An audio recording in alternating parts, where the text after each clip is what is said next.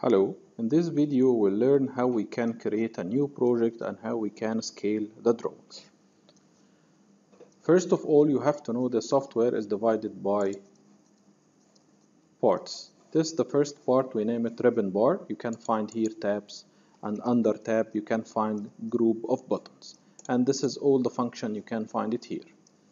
At same time in this part, pages and bookmark, you can see the list of the drawing, which is we learn how to load it. And once you select one drawing, you can see it here. This part is related to template if you want to build template to the system. And later we will discuss how we can create and use templates. We can hide any of this part for wide range of the drawing. And now the first thing we have to do is to create a new project by click home, then new. Once you click new here, you have to select the job or type the job number and here you can make description. You can add notes and be sure that you are select the metric if you will use the metric system.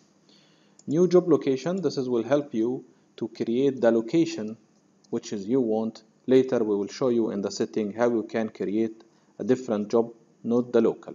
By default, PlanSwift is installed in C program file and your saved file will be there in the jobs folder.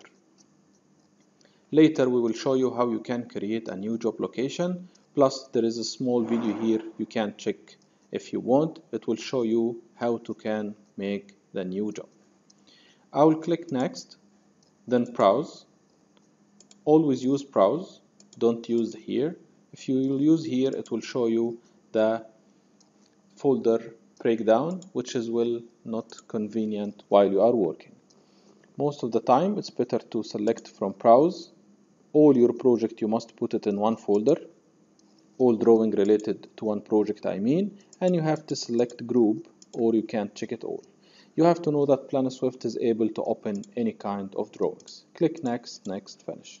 If you're drawing TIFF drawing or picture file or PDF file or DWF or DWG PlanSwift will be able to open it and you can see it after a few seconds in your left side.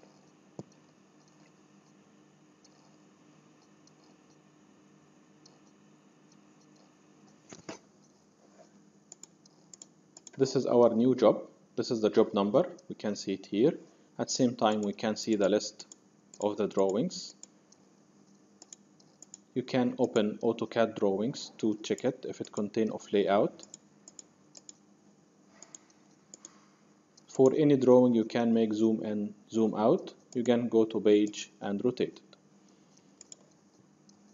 Page here you can rotate left, right or 100. The most difficult thing when you work with PDF. Because of this we will try our work in PDF. After you load the drawing and check it, you can click here to add pages or go to pages and click add pages to add more drawings if you want. You can select and here browse and select if you have any extra drawing you can add it here. After you load the drawing to be able to work with the takeoff items to take the measurement if it area or linear or segment or you won't count item first thing you have to scale the drawing. How we can scale the drawing? Scaling the drawing have two ways. One, we don't recommend that you can check the scale of the drawing and mention here this is 1 to 100. Even the software will show you disclaimer because this one is PDF and we will not be sure this is the correct scale. The best way to scale is to find known measurement in the system. If you don't find known measurement in the drawing, sorry, if you don't find known measurement in the drawing, you have to find reference like door, like parking, like distance between any two points, you know it how much is it exactly. And you click here scale. Type this measurement per meter, per centi, per kilo, it's up to you. And type it here, it's 52.5 meter.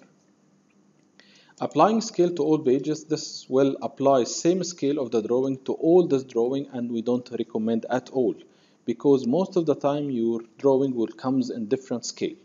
Okay, because of this, never use it, just go one by one and scale. I will use it now just to not waste your time and scale all the drawings. I will click OK another time okay and here I have to follow the software. You told me here click first point of dimension for scaling. I will click the first point. Then he told me click end point for dim office of dimension for scaling. Also if I keep if I keep press an M button in my keyboard this is will be magnified. It will show me magnifier which has helped me to select the drawings the, the points accurate especially in PDF if you are working AutoCAD in AutoCAD you will find snapping option snapping option will help you more to pick the points more accurate.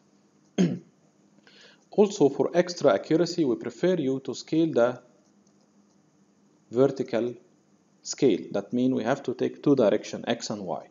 As you see here the software detect in which direction already we scale the drawing and if we scale it again in another direction he will mention also or he will feel or he will understand that we are already take two scales in different and he will work and take the measurement based on this.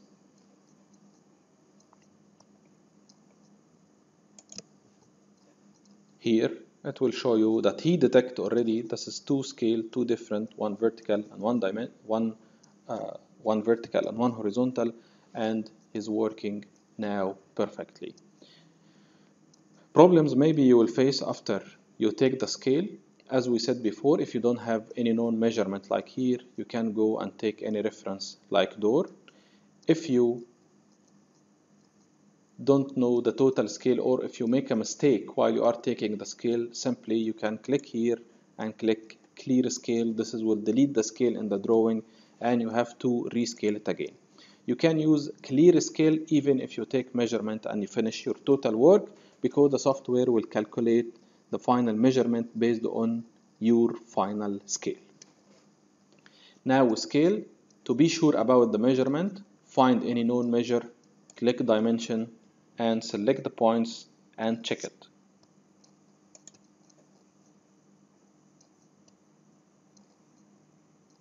Here you have to pick the point, click 5.4 which is 5.4 down that means your measurement is accurate and now we can click here to hide the scale and we are ready to start take measurement.